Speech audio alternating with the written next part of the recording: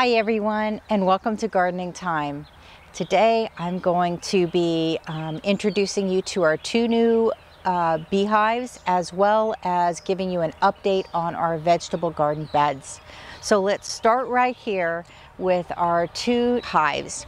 So if you have been following us, you'll know that last spring we purchased a single honeybee uh, nuc and it did fine all year long until towards the end of the summer we we think that uh, the hive swarmed and we didn't catch it enough time and um, we ended up losing the queen. And it was so late in the season that um, there really wasn't much that we could do. So um, we uh, ended up buying two new honeybee nucs this spring. Actually, it was on the 11th of May.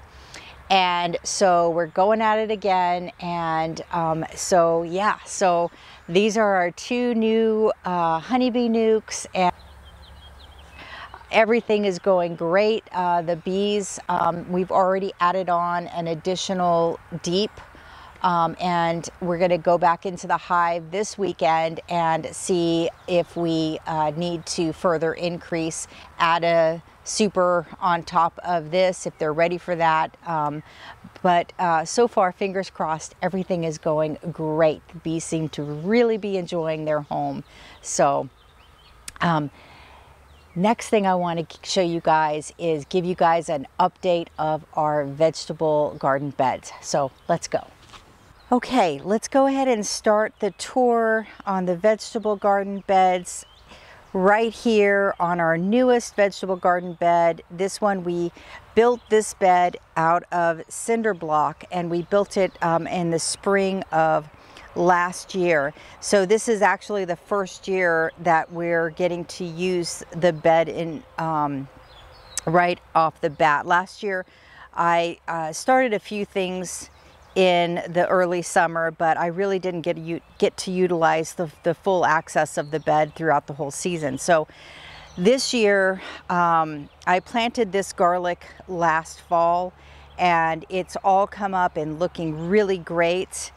Further on down, I have, you can see all along the edge of this bed, um, here I have some lettuce and we have been harvesting off of that now for about a week um, so this bed, I don't know if I had mentioned this before, this bed is, I believe, um, 20, about 20 feet long by, I think, five feet wide. So it's a, it's a pretty good sized bed.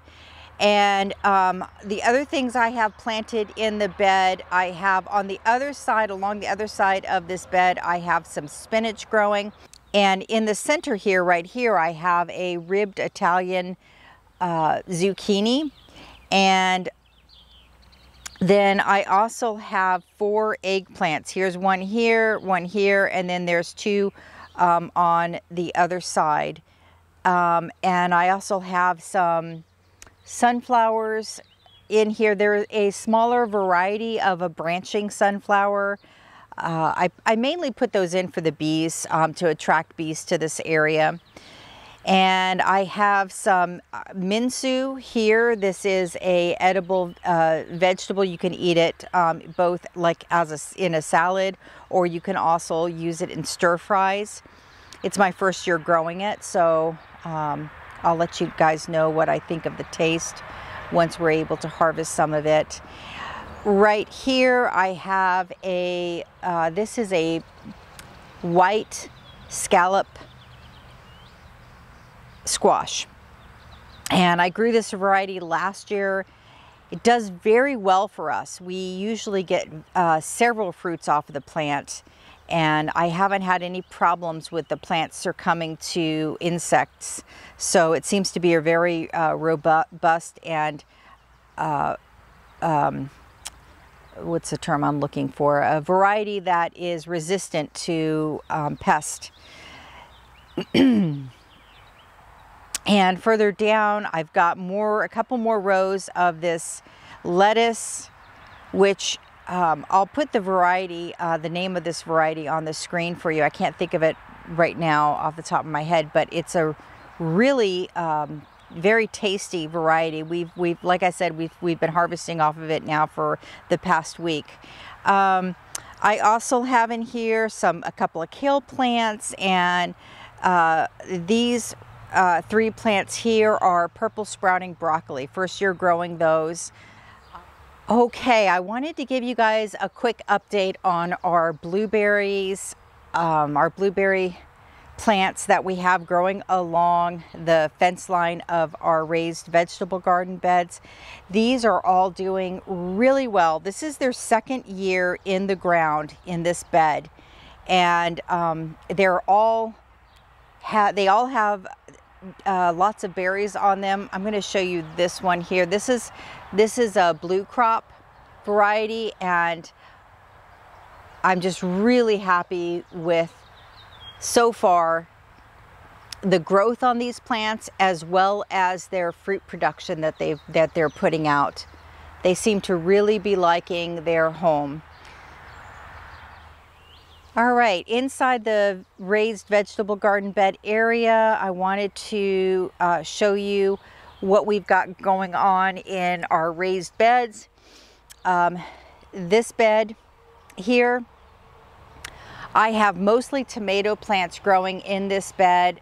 Uh, and so the first, the first three tomatoes um, that I have growing in this bed are cherry tomato varieties. I have a red, a yellow, and a uh, black cherry variety growing. Further on down, I have, these are our Roma tomatoes. And I believe we've got 15 or 16 Romas this year growing and they're all doing really well. I started all these from seed as I have um, for the past several years and they all seem to be doing really, really well. So fingers crossed we get a really good harvest this year. Now I also have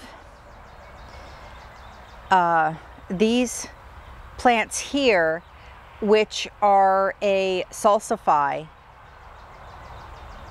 And the roots of these plants are supposed to be really delicious. Never tried them before. This is our first time growing them. These were overwintered from last year. Uh, I probably should have dug them up last fall and to harvest the roots, but I, I didn't. Um, and so I'm what I'm doing is I'm gonna let these finish off flowering and once they're done flowering, they're, they're uh, related to dandelions. And uh, when, when they're done flowering, the flowers will turn into those huge dandelion puffballs. Um, and, you know, be, they'll be filled with seeds. Of course, I'm going to cut the seed heads off, save the seeds, and then this fall, I'm going to uh, try harvesting the whole plant and seeing what we get. But so far, the plants are extremely um, healthy and they're really good at attracting um, the beneficial insects.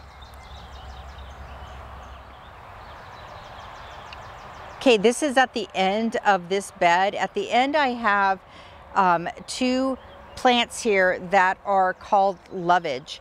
Uh, this is my first experience working with lovage and I am absolutely loving this plant. I am growing some more of this out on the west side garden. As you can see, these plants um, get quite tall and the leaves taste, actually to me the leaves taste like celery, although some people will claim that the, they, they taste more like parsley. But either way, they're delicious in salads as well as you can use them in soups or any dishes where you would need to use celery. And they're perennial, that's the best part of all I forgot to mention, is these plants are perennial. They come back every year. Okay, I wanted to show you our strawberry bed. I have been growing strawberries in, this is this the um, second bed. This is the one that's closest to my husband's shop. And we have been growing strawberries in this section of the bed for the last five years and they're doing really, really good. Um, they're loaded, if you can see, loaded up with strawberries.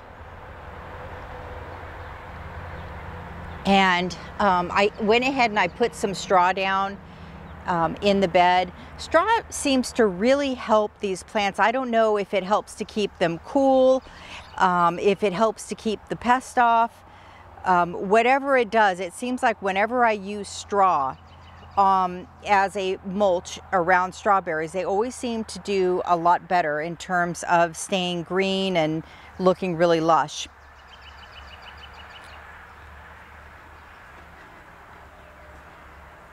Okay, and here are some more tomato plants. In, there are six of them in this other bed, and these are all the slicing tomatoes that we have.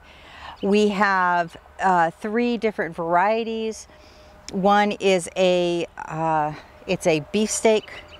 The other is a brandywine, pink brandywine, and then the last is a Rutger.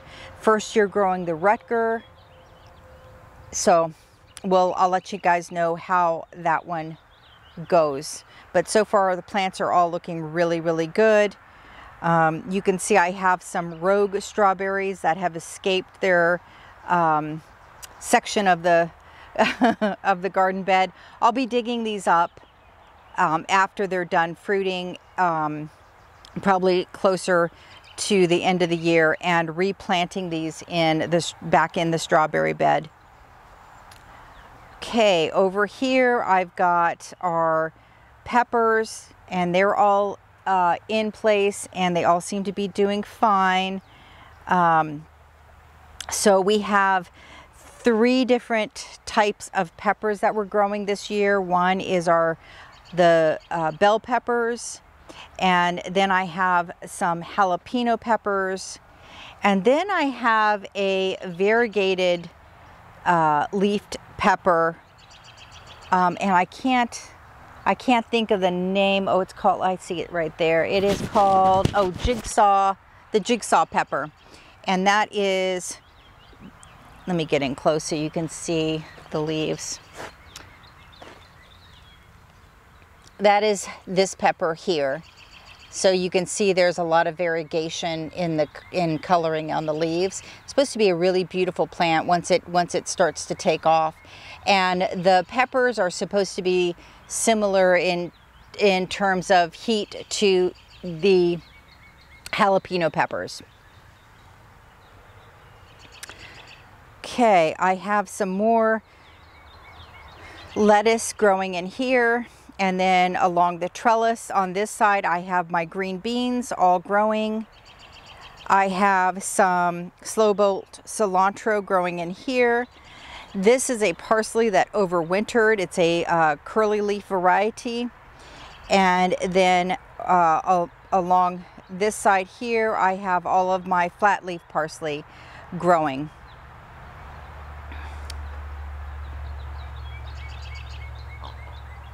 This large plant here is one that overwintered. I didn't plant this. It was a um, one that planted itself somehow.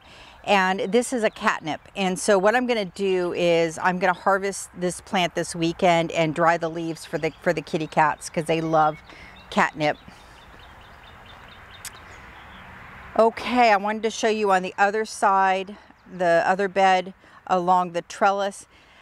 Uh, this has not been so far much of a success. On in this garden, on this side of the trellis, I have been planting all of my cucumbers and this is this is the Armenian cucumber. This is the only cucumber so far that has lived from my transplants. Um, I did plant some pickling um, cucumbers. Those are coming up. I need to replant some silver slicers. Those were growing in this section here. They have all died.